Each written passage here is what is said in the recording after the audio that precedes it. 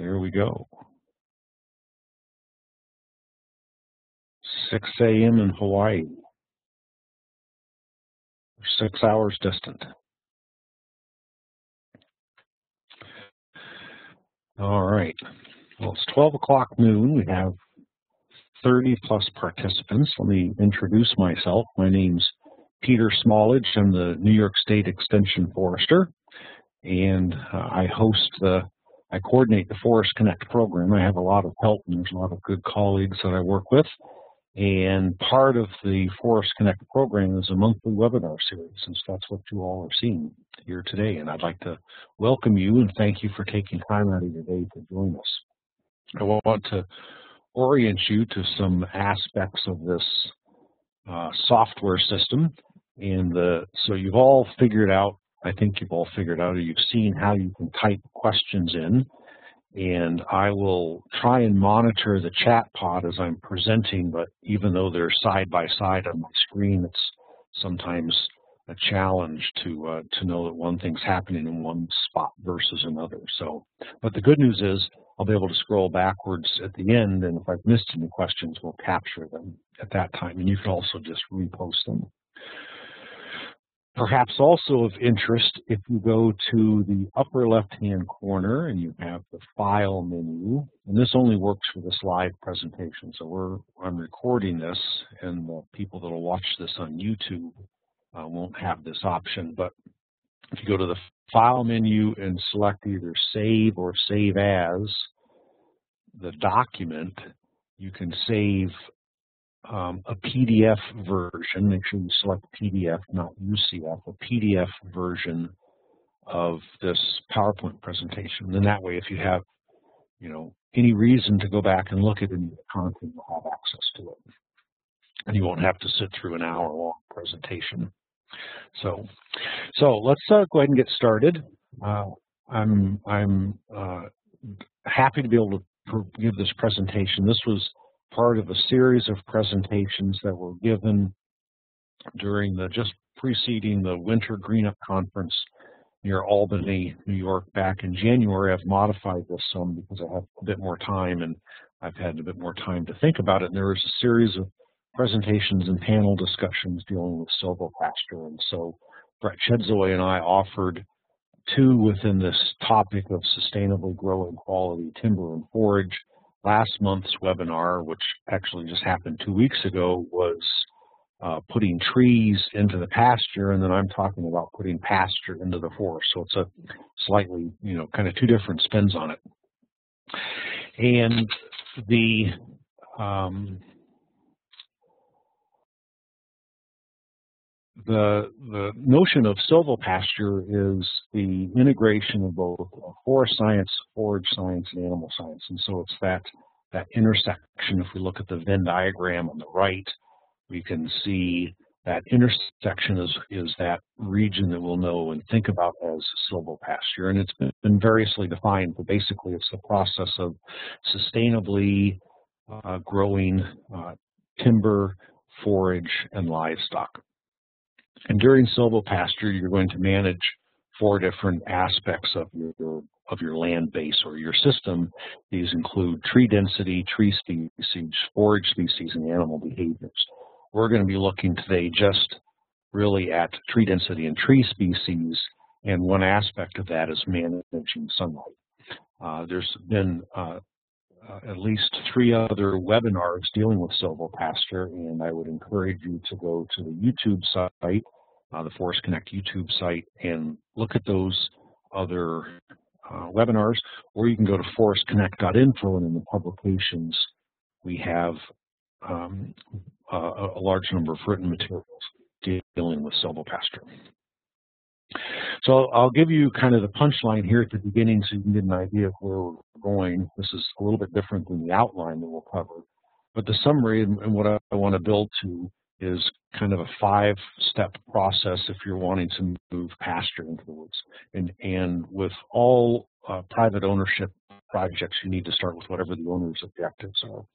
And those uh, would ostensibly be to develop forage so that you can graze livestock Uh, but there may be other, uh, and grow timber as well and do all sustainably, of course. But there may be other objectives that should be incorporated into that very explicitly so that you don't lose track of them and don't lose, um, you know, don't kind of get going down the wrong, um, wrong alleyway. This picture is from our woods where I'm trying to develop uh, silvopasture, and one of the objectives I didn't consider that uh, was of interest um, to my wife and daughters was some of the aesthetics of dealing with the debris, and we'll talk a little bit more about debris management. Second is you'll want to evaluate sites. Uh, you may have multiple sites that you're considering, and so you want to prioritize those locations. There are going to be a number of different conditions of the forest that you'll want to consider and uh, we'll look at some of each of those. You'll have to develop a harvesting plan, then you'll also have to develop some kind of a plan to establish and develop, uh, grow the forages.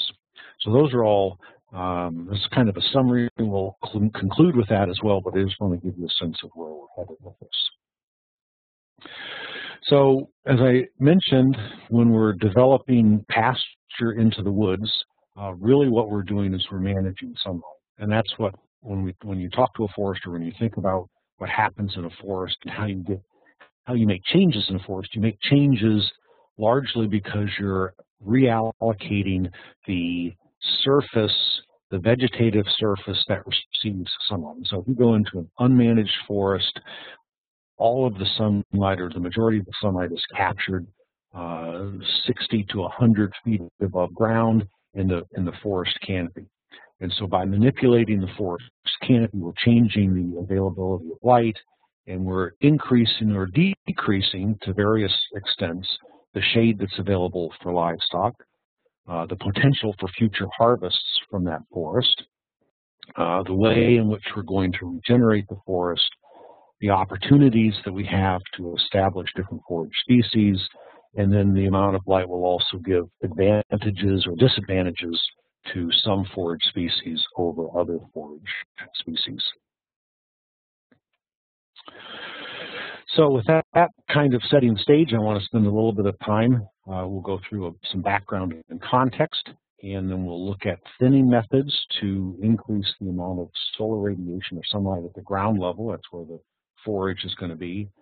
There are some general comments that we can make about how we select trees, and then finally some comments about working with foresters. So this, these three parts, the thinning methods, the tree selection, and the working with foresters are the basis for how you're going to go about establishing um, forage, establishing pasture in the forest. There's a lot more details.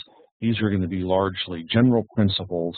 Uh, as we'll see, the, the specifics of whatever you're working with, we have people from all across the country, from Maine to Hawaii, and uh, the, the, details of the tree species, the details of the soil conditions, uh, the local climate, uh, the availability of different forages will all dictate the, the prescription that you would need to establish that pasture.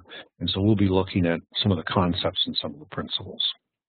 So uh, first of these is to approach all of your endeavors in silvopasture and maybe in a lot of what you do uh, thinking about the scale of operation. And when we do uh, day workshops, uh, Brett Chedzoy and Joe Orefice and I have been around the Northeast and done a series of day workshops on silvopasture, and one of the parting messages we have, uh, one of the parting messages we have when we offer those workshops is to plan for a small train wreck. If you're starting something and you don't have much experience with it, and there's a lot of experience that is yet to be gained in the Northeast, start with a uh, small train wreck. So don't, you know, maybe don't go out and plan on 100 acres or 200 acres, but plan on 2 acres or 10 acres or 20 acres. If you're planning on a much larger scale, plan for, uh, make sure that you've been particularly attentive to the details. So you want to uh, try and minimize the size of the train wreck. Um, everybody's going to make mistakes and everybody's going to learn as they go along, and so it's it's easier to recover from that when they're, they're small missteps rather than large missteps. A second point, kind of a caveat that I'd like to offer is to be prepared to, uh, I'll say, chew what you bite off. And, and, we can look at this from two different perspectives. This is, uh, again, my woods, and I'm at a very small scale of, um, and I, I, think technically I qualify as silvopasture, although some days I wonder. But the, the point here, on one hand, is that if you have livestock, you need to have something for them to eat. And as you look at my woods, you can see there's basically nothing for my lambs to eat. So I spent all of last summer feeding my lambs, which isn't really forage management, is it? It's, you know, not when you go and buy hay from your neighbors. The other side of the coin is when you are aggressively trying to develop pasture uh, make sure that you have an adequate livestock base as that pasture develops you need to be able to manage that. And, um, and so you need to find that, that balancing point between the amount of livestock that you have and the amount of pasture that you have.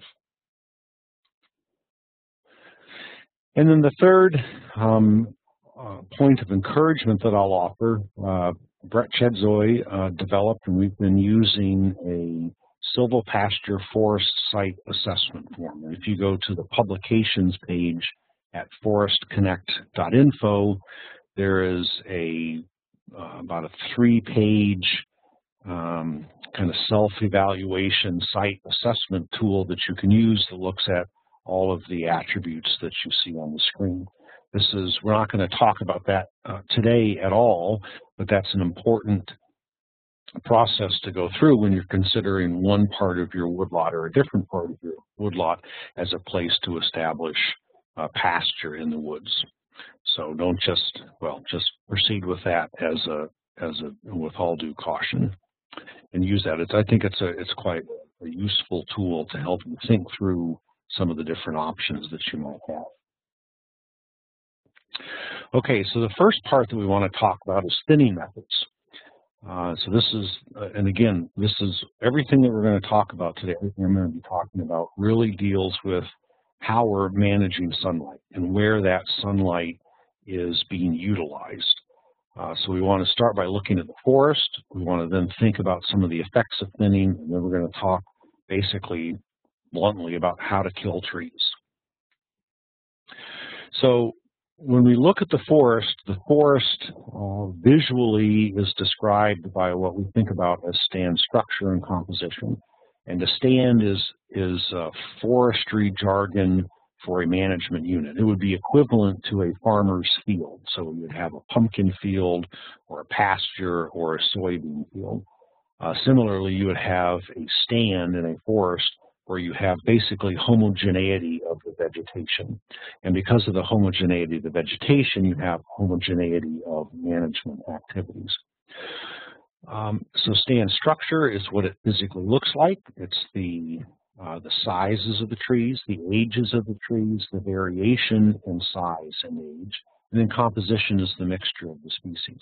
And so together this the sizes of the trees and mixture of species are what make uh, each stand and each property unique. And so they give us different opportunities, they give us different challenges.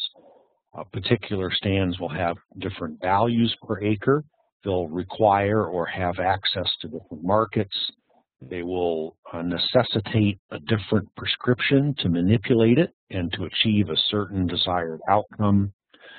The stand structure and composition may also reflect differences in soil fertility, and they'll provide different opportunities for livestock. So let's look at just, uh, I think you probably get the picture, so to speak. But let's look at a few pictures just to illustrate the variations that we might be considering or that we might run into when we have different stand structures and different stand compositions. And all of these might occur on the same property or none of them. there, you may have different stand structures and compositions on your properties. Oh, wow. Well, I did have pictures there and they didn't show up. So um, we'll just keep going.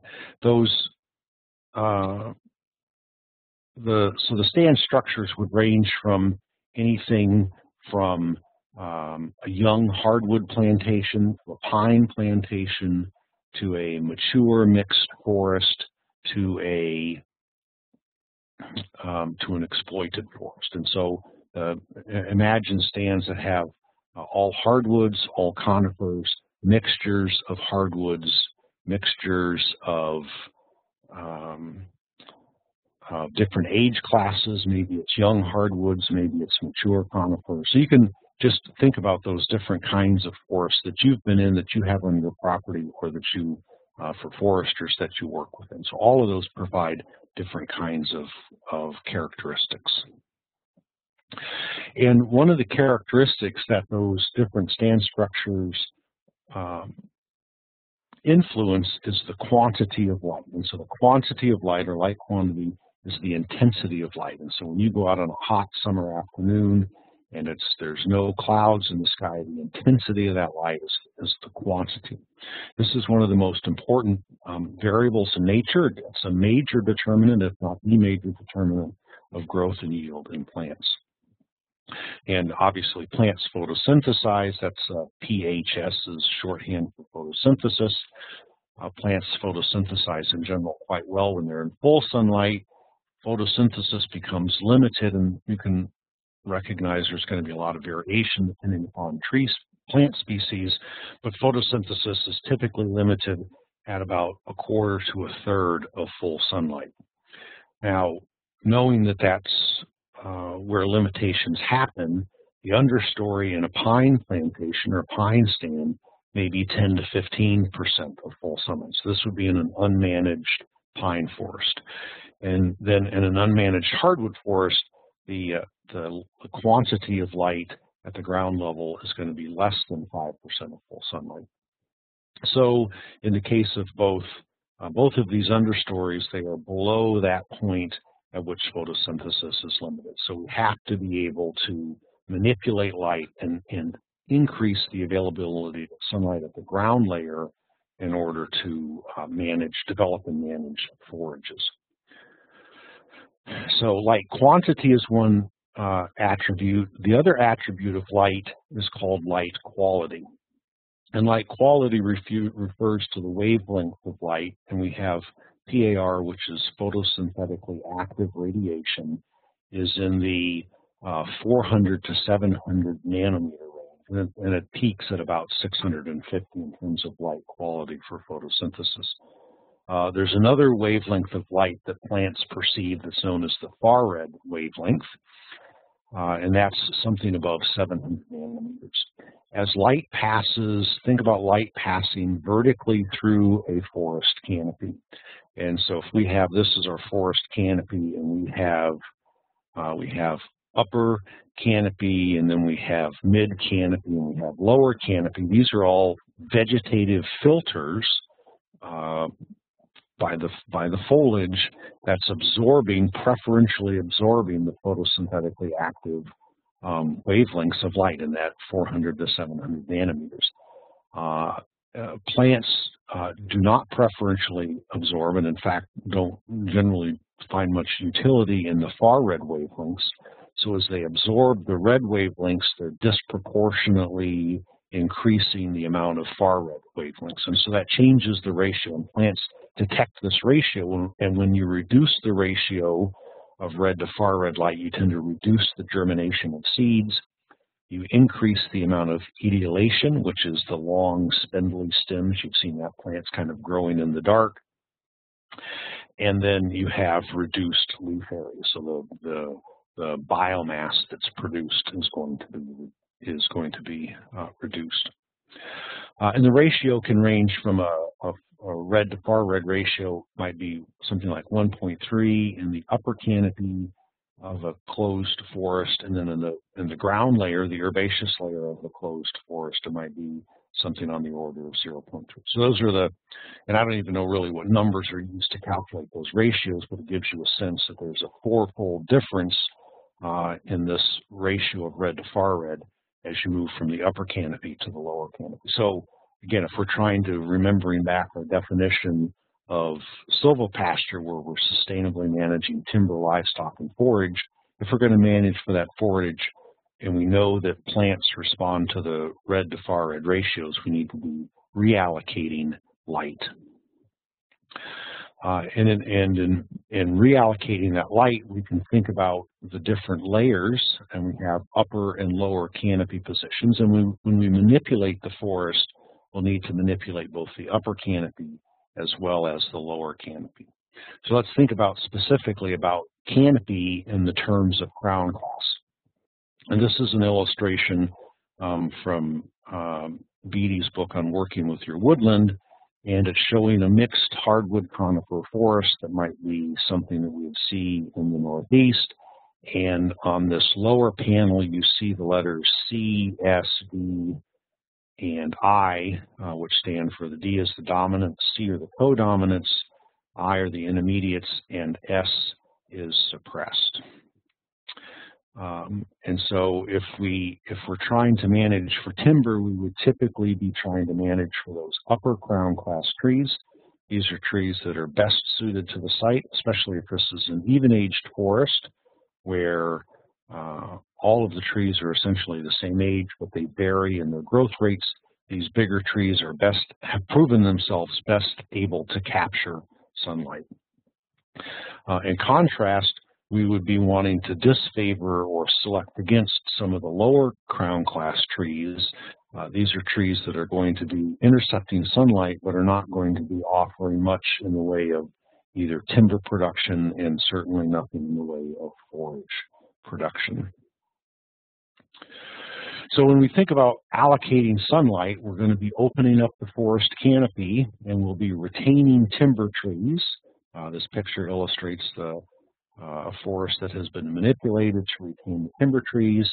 And then we're either going to allocate sunlight to firewood trees, some combination of firewood trees or forage. And uh, when we when we look at what this would be in just using some stark contrasts, we can think about a, a forest where all of the sunlight, 100% of the sunlight is allocated to timber. And, you know, give me, you know, some of you are looking at this picture of a of a red pine plantation wondering how I got timber from that. But just you know, humor me. This is a this is a case where we're, there's no understory development and um, there's not much in the way of of low value utilization. We could have a situation where, and this would be maybe more typical for a lot of traditional uh, forests, private land forests, where you have some combination uh, of timber production and, and firewood production. Uh, and that those don't get hung up on the percentages. Uh, the point is that we have 100% of the sunlight that we're going to allocate, in this case, between timber and firewood. And then finally, we would have some allocation between timber, firewood, and forages. So we're, we're manipulating the structure of the stand, we're manipulating the, uh, the composition of the stand, and by doing that, we're providing sunlight to in different amounts to different availabilities of forage, firewood, and timber.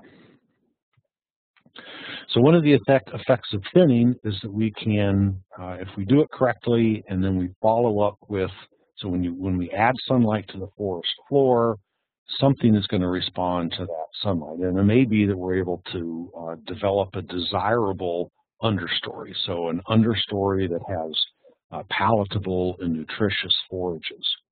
It's also possible, if we're not paying attention, that we can develop an undesirable understory. Uh, and this is going to be most likely the case if we're uh, this is a high-graded stand where the where the forest was exploitively harvested, the biggest and best trees were removed, and there was already established an undesirable understory of uh, in this case, American beech, and there are many other species that you can can um, deal with. Uh, in fact, later this afternoon at 2 o'clock, there's a, a webinar uh, by, I've, I've forgotten now, but there's a webinar on how to manage undesirable grasses. So there's a lot of different species that are going to respond when you add sunlight. Something, point is something will respond. And as a manager, you want to try and guide those species that respond so that you're able to um, so that you're able to uh, take advantage of it. Another effect of thinning is that you're going to create some amount of debris. And uh, the, the, challenge with debris is that depending upon the harvesting system that you're working with, you may have greater or lesser abilities to utilize it. This is a, a research area at one of at the Cornell University Arnot Forest where Brett Chedzoy and I and Joshua Puzet are doing some work on forage trials. And in the process of thinning it, we were uh, we were um, we created an awful lot of debris, and so we were having to. It was a small enough area that it was not a commercial harvest, and so we were uh, personally needing to find ways to deal with this. And this is the same kind of situation that I have in my woods. I'm I'm shooting for a very small train wreck, and so um, I'm I don't have enough for commercial operation, but I do have enough to create a lot of debris that that can be unsightly if it's not managed correctly. Um, so this is kind of a negative uh, or, or a challenge. I'm going to call it a negative. It's a challenge, and there's some harvesting systems that we'll see in just a minute that have a way to take, to take care of this. One of the advantages, though, is that you're reducing the competition on the desirable trees. Uh, if you leave behind desirable trees, you're reducing competition on those trees, and because of that, those trees will grow more quickly. And this is a graphic uh, from some work by Bill Leak and colleagues where they were looking at the production of timber in the northern hardwoods area, and they were comparing, and this is a computer simulation, and this is looking at cumulative volume following uh, various thinnings, but we have the kind of the dark gray line. The lower line is the unthinned stand, and at any given age, the thinned stand has a higher total volume than the unthinned. So thinning is going to increase the production of timber if it's done correctly. Uh, the, the, actual numbers will vary depending upon the species and depending upon the soil and site conditions, but through judicious thinning, you're going to increase the volume and increase the value of timber that you have available. Uh, that thinning process, the effect of thinning is also going to change the opportunities for different types of forages to establish. And, and uh, I don't have the, the details, and uh, this would be a, a, presentation unto itself to look at the different types of forage species that would become established under different thinning regimes.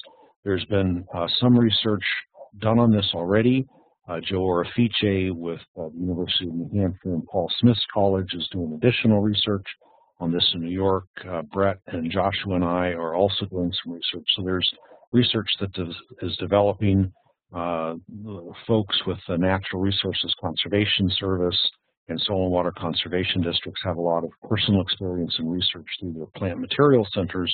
So there's a developing body of information that can guide uh, the species that would be used. Uh, the, the, the noteworthy point to make here is that grasses and other broadleaf forages uh, can survive and can do well and can maintain good quality in uh, partial sun or partial shade.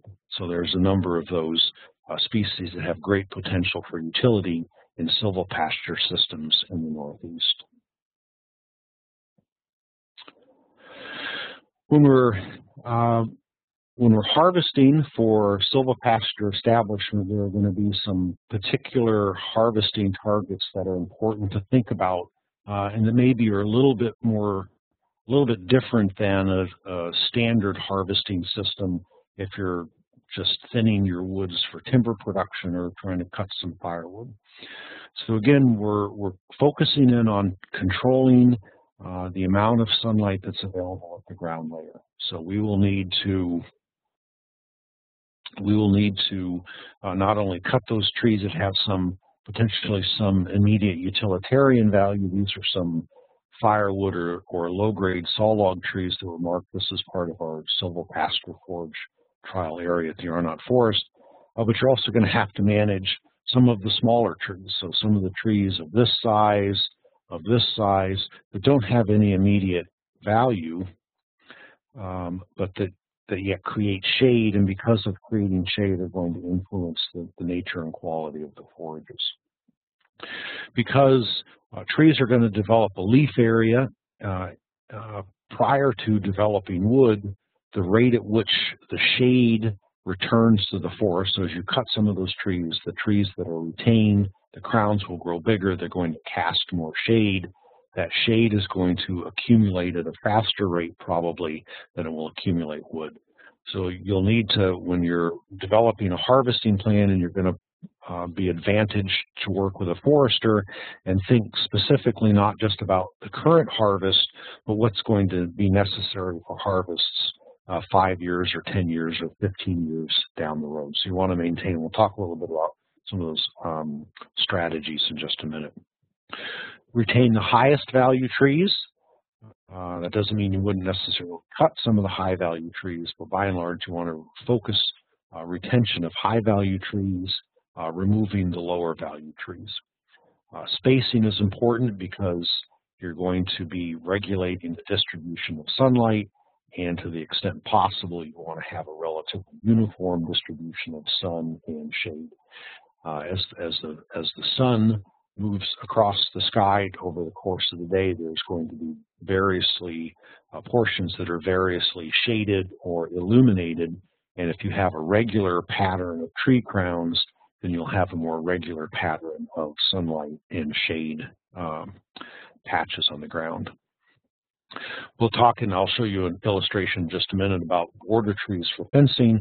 And then we've already mentioned debris management. And uh, think very uh, deliberately about how you're going to manage the debris because if you uh, if you just leave it behind, it becomes an encumbrance to established forages, and it may be a barrier to some of your livestock uh, for the livestock to access uh, parts of your silvopasture.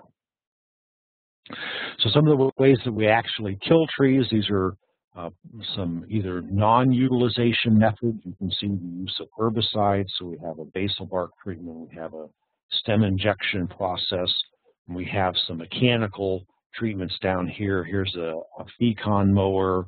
This is uh, girdling, and this is uh, manual felling for uh, probably for firewood. So these are, are either non-commercial or very low commercial opportunities.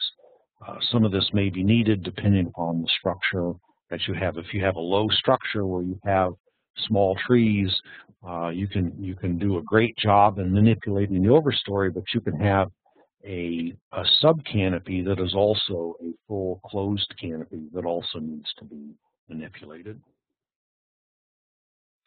And then there are different ways to uh, harvest where you're going to utilize the product. And this is this is a nice option if you have this option available.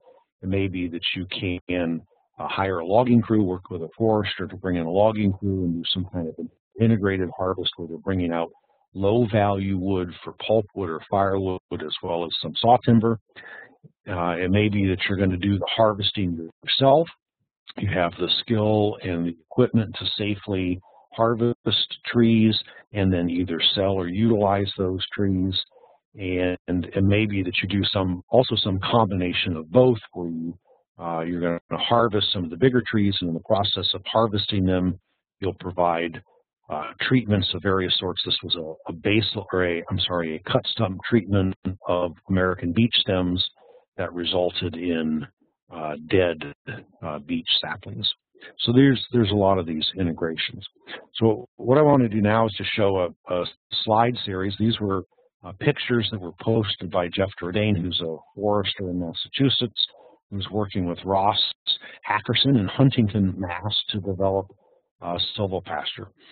And I've given, um, I don't have all of the details on the harvest. I've provided Jeff's email um, and uh, also the, the link. Jeff had posted these on the Ning site, and Jeff said I could share these. And the point is just to illustrate some some commercial scale uh, operability uh, for developing silvopasture. And there are other foresters that are doing this in New York, uh, and, and I don't certainly know everybody that's doing this, but I've heard of uh, Debbie Boyce with Northwoods Forest Consulting up in the, the Jay, New York area, who's doing some work with this. Rich McDermott, who's a DEC forester, is working with Karina Aldrich of NRCS to uh, mark and harvest, ultimately harvest areas to develop silvopasture. And then in Pennsylvania, John Hopkins and, and uh, Roy Brubaker are doing this. Um, and those of you that have seen Brett Chedzoy's uh, which, you know, the bread is also doing a lot of also a pasture establishment and Joe Orefice. So there are several people around. This is uh, one illustration. So this is the pre-harvest forest, and you look at this and you think, um, wow, there's not a lot of value there. There's an awful lot of stems per acre. Uh, what's it going to take in order to get this work done? Not have to pay out of pocket to get that work done. I don't know if, if Jeff's participating, but he can he can certainly um, uh, chime in with additional points of, of clarification. So they were able to uh, find a, a, local logger that had a mechanized operation and equipment. Those the value of those trees are so low, it wouldn't make sense and be feasible to try and do this as a hand operation, manual operation. And uh, by by having this mechanization, they were able to more fully utilize the wood that was there. So they brought in the machine, started cutting trees, and uh, because they were doing um, uh, because of the harvesting method, they left behind a relatively clean site. So this is an area that's that's been harvested. Uh, you can see that the debris management here is in, I'd say, is in very good shape. There's some debris that's left behind. Uh, depending upon the forages that will be established, they may need to do some type of scarification, but they've managed sunlight. They have a, a nice distribution of forest canopy left behind, and then uh, they'll be developing forages in response to that. Okay, so uh, we can move on now to the next section, the second section on tree selection. And here we're going to be asking the question, and, and this is, again, developing some general principles about which trees we're going to cut, how much we should cut, um, and how we go about killing or cutting those trees. And we've, we've talked about some of the the harvesting methods, the commercial and non-commercial methods to kill or cut. So we'll want to start by thinking about what we retain. And when, we, when we're working in the woods and we're talking about harvesting, I think it's better to focus on what you leave behind more so than what you cut. Certainly you have to be attentive, uh, attentive to um, what you take out if it's commercial, it needs to be of, of sufficient volume and value to make it worthwhile, or the logger doesn't show up. Um, but what we're really trying to do is grow trees and grow forage, and so that is, um, then we're focusing on what we're keep leaving behind. So Adam wants to know if I can expand on the uh, debris management options. Um, hmm.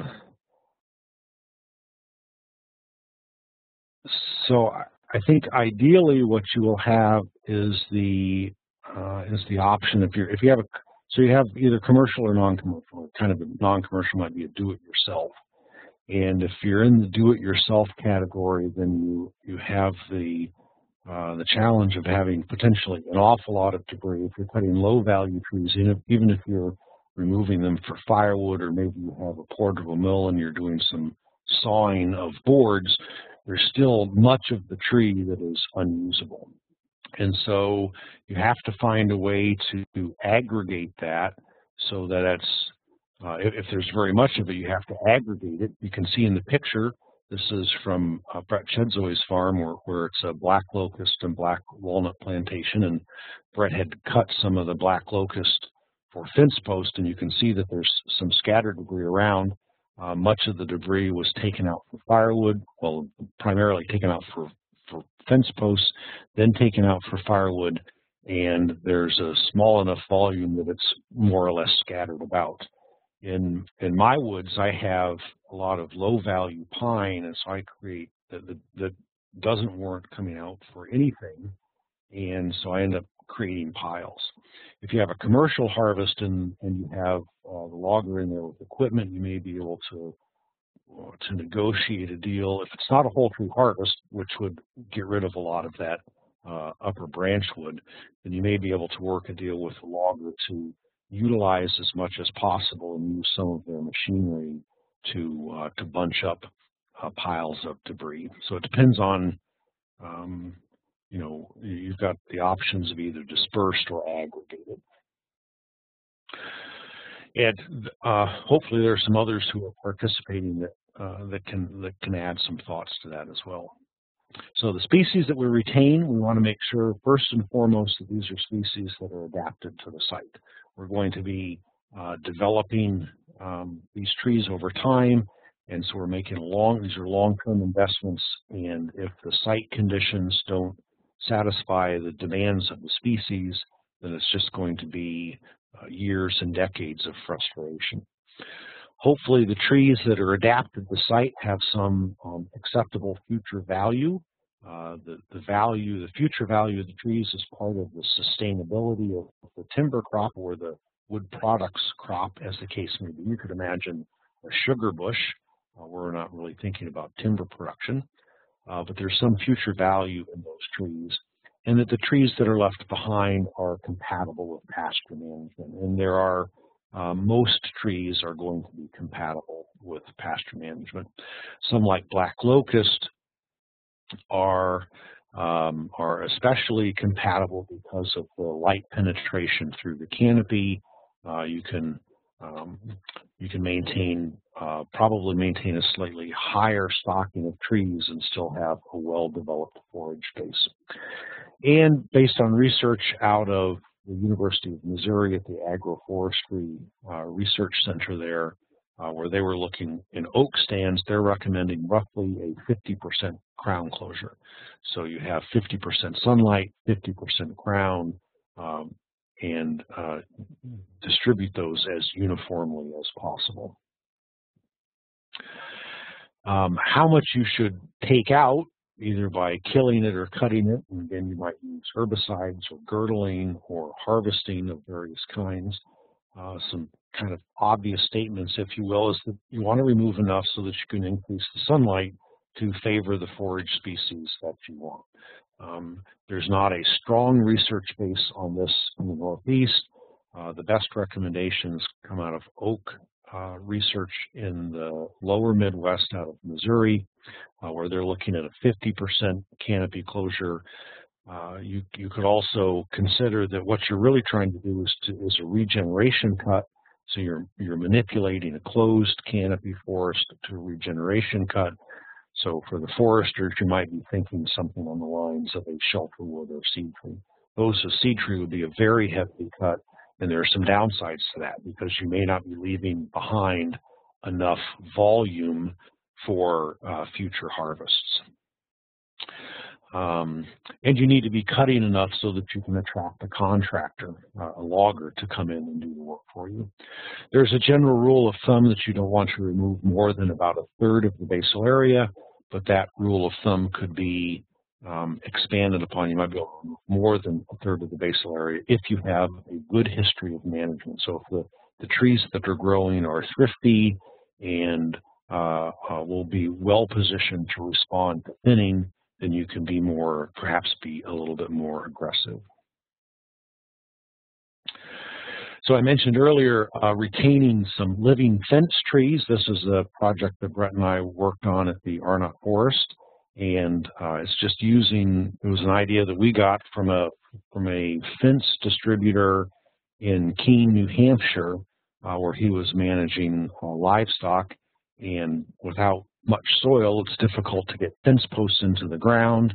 And then even if you can get fence posts in the ground, that's an expensive option. So we've started doing some experimenting, and we have a project where we're going to be putting up uh, these living fence uh, living fence post fences, and uh, the pricing is is quite favorable. We did some early estimates. This is uh, for materials and labor less than a dollar a foot, a linear foot running foot for all strands. Some of the selection criteria to pick the winners and the losers, and these are of course going to be um, uh, filtered through the owner's objectives but you will want to remove high-risk trees. These are trees that uh, particularly might have a lifespan that's less than the harvest interval.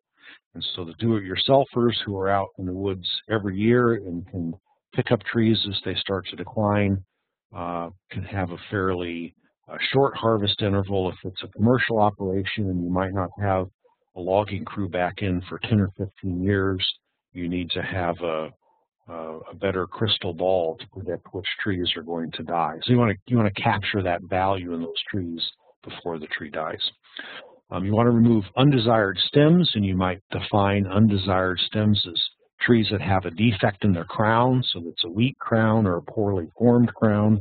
It might be an undesirable species, or it might be a, a tree that has uh, stem defects, particularly stem defects that make it prone to uh, collapse or falling or failure. You'll have to cut some potentially acceptable stems that crowd high value stems. So you may have a cluster of oak trees or a cluster of sugar maple, trees of high value. All of them can't stay around, so you make choices that result in favoring some and disfavoring others.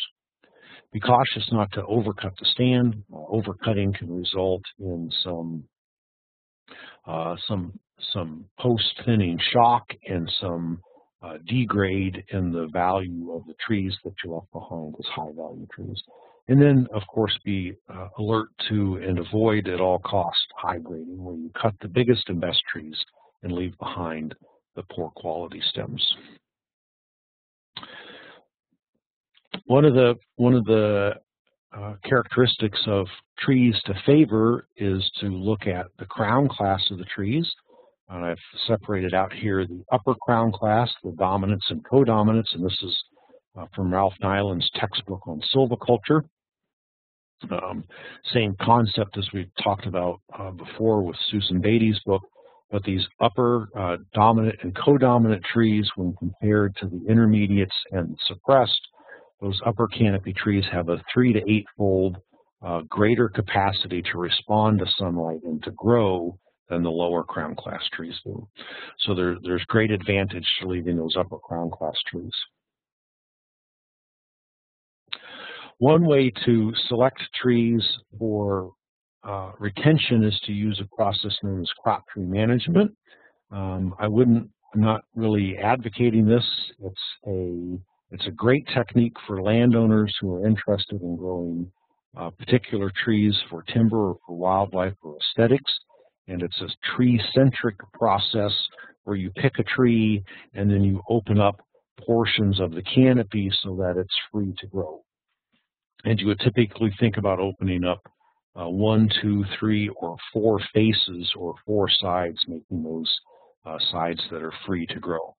Uh, the challenge with crop tree management is that it, it, doesn't, it's not an explicit control of stand structure. And stand structure is what's going to determine how much sunlight comes in. And so with the tree-centric approach, it's focused on the tree, and that tree gets sunlight, but we're interested in more than just the tree. We're also interested in sunlight at the ground layer. So you may be familiar with this from other kinds of woodlot management discussions, but it's probably not the best way to go in terms of developing a silvopasture. A better way to go, well, so here's a um, here's a research plot that I put in several years ago, looking at a four-sided crop tree release it's a very intense cutting. It created a lot of sunlight on the forest floor. There's a lot of understory development. In this case, it was all raspberry, and it re-illustrates the point of you know, being ready to chew what you bite off. And if you did uh, 10 or 15 or 30 acres of four-sided release, you're gonna you're gonna end up with a woodlot that has a high uh, potential for understory development, and and you'll want to try and control what type of understory actually develops there. So again, crop tree management is probably not the way to go. A better way to approach this is a technique known as area-wide thinning or basal area thinning. It's more complicated to approach. This is the kind of technique that foresters learn in school. It's not tree-centric, it's rather uh, centered around uh, manipulating stand structure. And because we're controlling stand structure, which is the number and sizes of trees, we're going to be better able to control the growing condition for forages. And what it works on is, where it works from, is a series of numeric targets. So you're trying to shift the growth to the best trees and allow sunlight to go to other plants. Uh, so to illustrate this, and this is an illustration I gave a webinar a few months ago about thinning for timber production. So this first graphic uh, uses what's called a stocking chart. And this stocking, stocking chart is a graph that has the number of trees per acre and then the basal area per acre. This is a stocking chart that is uh, specific to upland hardwoods and other forest types would have different, slightly different shapes and orientations, but the principles would remain the same. And the forester will go out and measure the stocking and we'll, in this particular case, we're assuming that we have a forest that is fully stocked. So that A line that we see here, this dark A line is a fully stocked line and we have a relatively young forest. So we have uh, almost 350 trees per acre and about 105 square feet of basal area. So think about basal area as wood area. It's the surface area. If you went out and measured trees at four and a half feet above ground, the area of wood, if that was a stump, is the surface of it. So a 14 inch tree, to give this a perspective, a 14, 14 inch tree has about one square foot of wood. So if we have 350 trees and 100 square feet, we have a lot of relatively small diameter trees. In fact, we can estimate the diameter here between 7 and 8 inches in diameter. So this is a relatively young stand. And if we're trying to optimize for timber, we want to uh, make a cut so we'll make that cut. We'll reduce the number of trees from 350 down to about 200, and the basal area will be reduced by about a third. Remember our rule of thumb, 105 to 75 or to 65. So about a third of the basal area. And the B line optimizes growth for timber production. And we allow that forest to regrow, so the number of trees doesn't increase, but the size of trees increases from 8 inches to 10 inches, and we're back up to the almost to the A line. And then we cut it again and then let it regrow. And this is an iterative process of cutting and regrowth. This is for timber. Um, and this, these are well worked out relationships. And so I've, I've gone out on a limb here and humor me, if you will, and correct me if you think otherwise, by all means, uh, to, to, illustrate uh, a hypothetical silvopasture manipulation. These uh, these specific numbers that you see are fabricated. So I just kind of pulled these out of my ear. And so don't take them to heart, but rather see the, see the principle. Okay, so in this previous situation, we had uh, the, the end result was that we were maintaining a fairly stable level or even increasing basal area. So we started with the basal area of about 100, and over time, we ended up with a basal area of about 120 square feet. That's because we're concentrating, the, the purpose here is to concentrate growth on timber trees. Uh, rather, we need to think about in silvopasture, we're trying to grow biomass. We're growing biomass at multiple levels in the forest. One level is at ground layer, and that's the forage, and the forage is being eaten, eaten by livestock. And we're also growing biomass in trees. So the end result should look different. So we start, again, we have this young stand, fully stocked, and we make a cut. We're going to make a cut of about a, a third of reduction of, of uh, one third in the basal area. We allow it to regrow, but not allow it to regrow all the way to the A line. Uh, we'll allow it to regrow some, and then we cut it again, making about a reduction of one third. And you see now we're down into the area that from a timber perspective, the timber perspective says that this is understocked, uh, but that's not considering that we have biomass, vegetative biomass at two locations, in the canopy as well as on the ground. So here we're allocating sunlight to the ground as well as to the trees. We allow the forest to regrow, but again, we're not allowing it to regrow to its full timber potential. We're maintaining less basal area through time. So before we had an increase in basal area over time, now we're having a decrease in basal area over time. So again, don't get hung up on these numbers. Um, for people that are familiar with stocking charts, if, if, there's another way for me to think about this, please let me know uh, and share that with the group.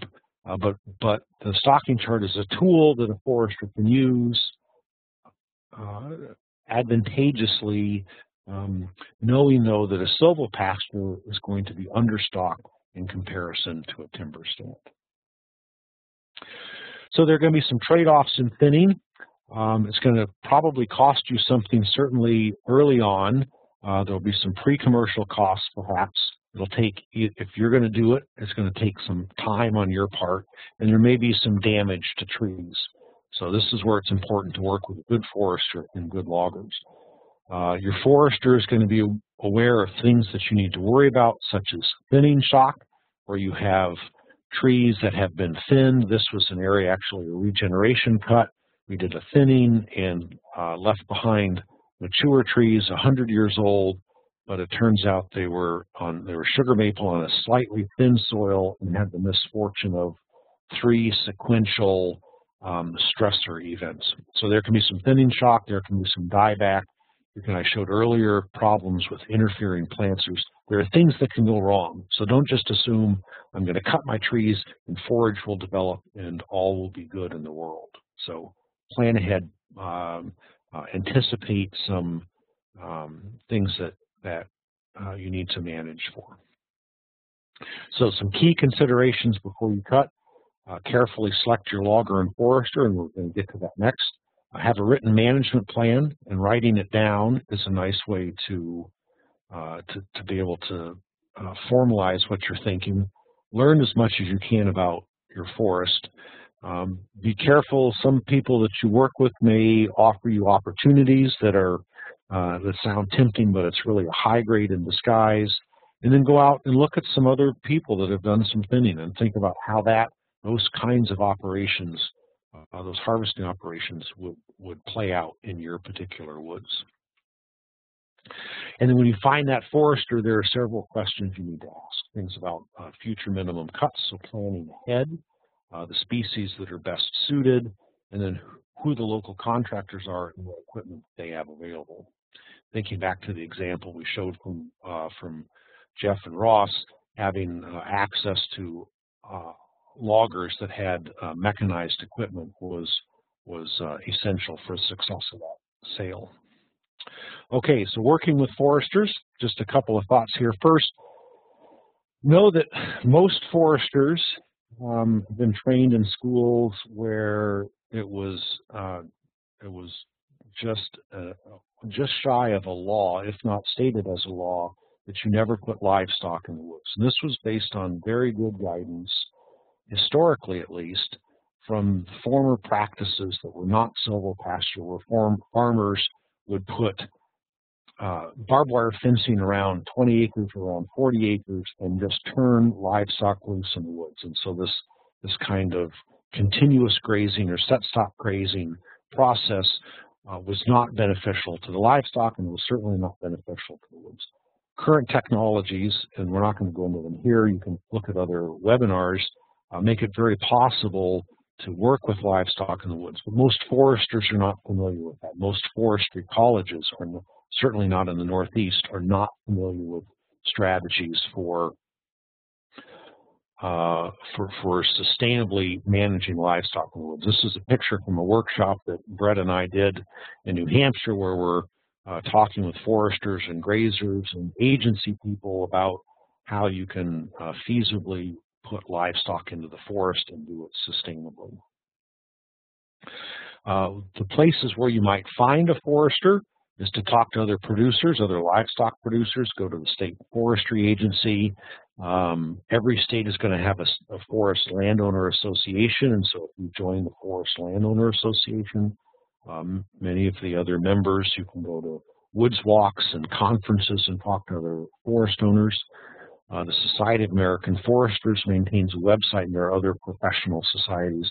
And then there are trade shows and conferences. So explore all of these uh, as a way to start uh, tracking down. And you're going to start by, here's a, a list of potential names of foresters. And then once you have that potential, that list of potential foresters, you want to select them based on criteria such as their willingness to work on silvopasture. I can promise you that if you, you can talk to some foresters and say, I want to put livestock in the woods, and they won't want to have anything to do with your project. So uh, they need obviously need to have a willingness and then also a competency to work with silvopasture. Check their references, uh, talk to other forest owners, make sure that uh, you learn as much as you can about them. Uh, you're going to necessarily need to be harvesting low value trees, low grade trees, and so they're going to need to be familiar with markets for that. And then just on a personal level, you need to have somebody that you can connect with. Okay, so as we wrap this up, we come full circle and we're back to uh, step number one is thinking about what you need and what you object, what your objectives are, the, or the objectives of the landowner. Evaluate potential sites, prioritize those locations, consider the different uh, forest conditions. Um, we talked about stand structure and composition. Stand structure is all important in determining how that sunlight is distributed, but think also about the future conditions. So what, if you're going to have a harvest in 10 years, do you have enough to harvest in 10 years and still keep a tree cover? Or is your next harvest going to be a regeneration harvest and you're going to need to be planting trees and finding some way to protect them from the livestock that you use. You'll need to develop a harvesting plan and then you'll need to have some kind of a plan to um, establish forages. Okay, so kind of the key points then, plan for a small train wreck, seek and use good counsel, which is different than seeking and using bad counsel. Um, you should have a plan. I suspect you already have a plan. Write that down. And then always keep in mind what you're managing is the amount and the location of sunlight. So I'll encourage you to become familiar with the uh, Silvopasture Ning site. I can't get my arrow to work there. The silvopasture.ning.com. This is a uh, social media site, and it's a place where people who are interested in silvopasturing hang out. It's free to join. You do have to join if you want to post. Anybody can go and read about it. I'll also call your attention if you're anywhere in the Northeast. Well, if you're anywhere at all, you're certainly welcome. Uh, July 8th uh, this year, 2014, in the northeastern Adirondacks, Essex County, Brett Chedzoy and I and Joe, For Joe Orefice are going to be working with the Essex County Soil and Water Conservation District and Cooperative Extension and uh, some uh, sponsoring agencies for a uh, silviculture day course. So if you want more information about that, we'll be posting the agenda and details on the calendar at the silvopasture.ning.com site. So with that, let me humor me just a second. I want to get the link to the exit survey. I know all of you are dying to take that exit survey.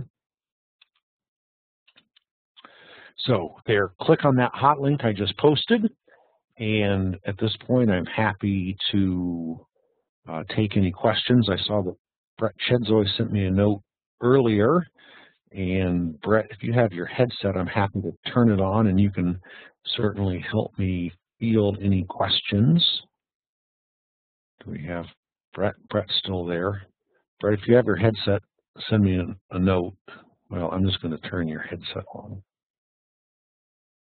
There we go. Brett's headset is on and he can talk. So Adam says, winter feeding, why would the woods be a good place for that? So one of the, and, and Brett has a lot more experience and I think others probably have more experience than I do, but um, I know that, I know that, um, so the, the the silvopasture areas will help conserve heat when you have winter storms, um, uh, minimize the amount of drifting of snow, and so you may have conifer plantations in particular that are useful for that. Obviously, there's not going to be any forages. I know that, that Brett has a uh, grass-fed operation, and so he'll bring in hay. Is that correct, Brett? Can you hear me? Barely. Barely. So maybe you can work on your on your audio volume. So Dennis says, on a non-commercial cut, would you consider managing slash by making large brush piles on the exterior edge of the pasture to create a forest structure for different wildlife species? You certainly could do that. And I think it all depends on what you have for equipment. So in my woods, and I'm trying to develop, it's about a four or five acre area, we do sustainable livestock production. So we don't sell anything really, we just grow our own meat. And all I have is a chainsaw and an ATV. So I don't tend to move stuff very far. So I have lots of, of little piles Uh, but if you had a tractor, if you had, you know, could rent a skid steer with one of the kind of the gripper units on the front, you could certainly um, move around any amount of debris that you would want. Um, there's also skid steers have kind of the Fecon brush cutting head that grinds things up. Uh, that's another way that you could manage debris. I didn't I didn't think about that earlier in response to Adam's question. So Elizabeth, I know this is going to be dependent on forages, but compared with regular pasture, how much more land might I need to sustain the same amount of animals on silvopasture? Outstanding question. Hopefully Brett turns his gets his microphone figured out. I don't. Now, Pete, Uh, I can hear you about the same. So if you say it, and then I'll repeat it if, in case other people can't hear. okay, Or I can turn my sound up. Maybe that's the problem. the Well, I can hear you. I can hear you better now when I turn my volume up. I don't want enough in my computer absolutely necessary.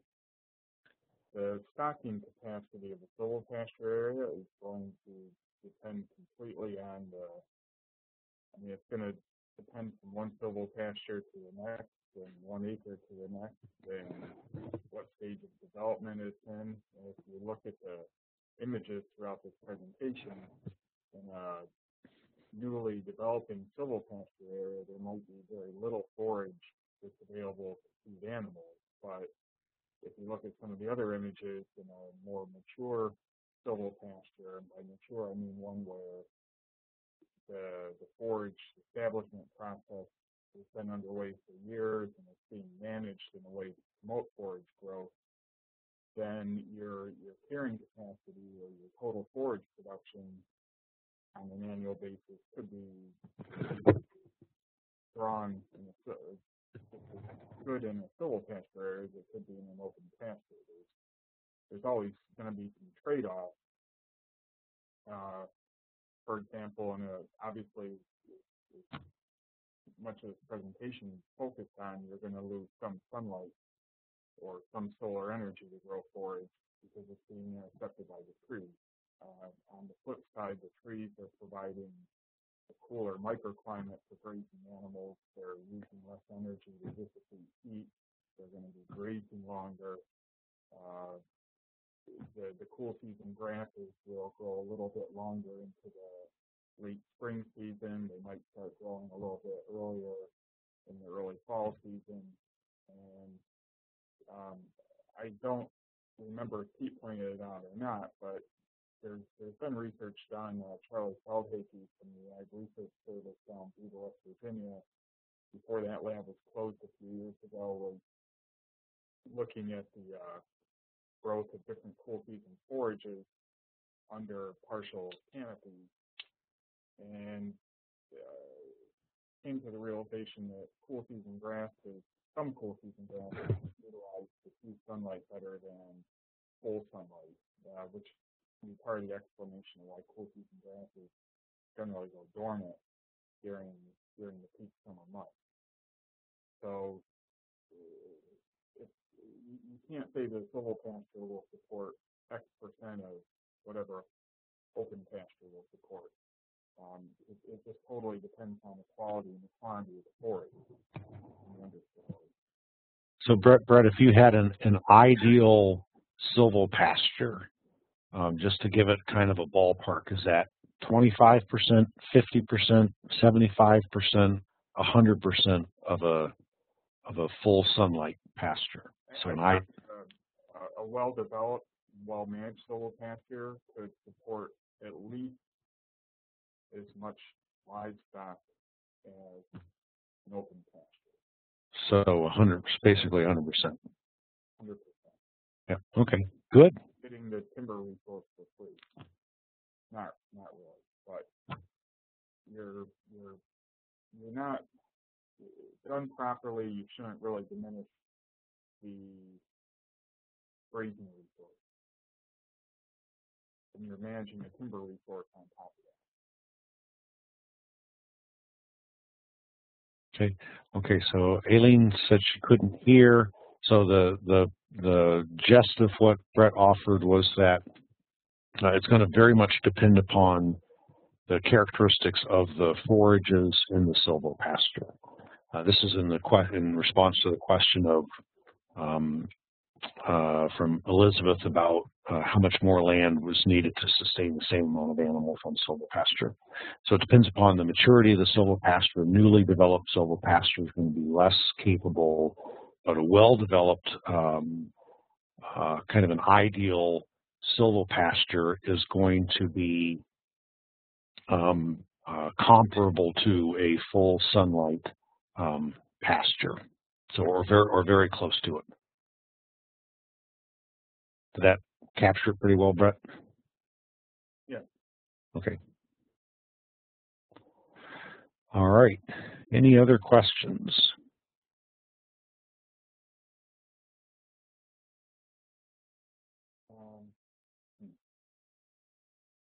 So I'll um, just reiterate again, let me post the uh, exit survey and I want to encourage everyone certainly to do that. And also, if you're interested in silvopasture, please join the Ning site. And if you're actively practicing silvopasture, then please uh, share your experiences with that network of people. There are people all across the country that are part of that silvopasture Ning site, and that'll be um, useful for us.